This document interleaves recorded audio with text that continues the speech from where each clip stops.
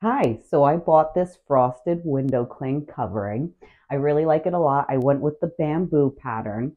Um, you could use it on a window. You could use it on a door if you had a glass front in the door. I personally needed it for my shower. I did have to cut it out a little bit just around where the handles are. There's like a little marking here and here. Again, I have my handles over here. So I just used like a little razor blade to do it myself and just cut around that circle. Did one straight line so that I could fit it around the handle on this side. It worked out perfectly, creates privacy for the bathroom, gives it a nice look. I'm very happy with the purchase. Stays stuck on there very well. I've had it for about a month on there now and it hasn't fallen down. You do have to make sure you clean the surface though before you apply it on there and then it works great. All right, thanks. Bye.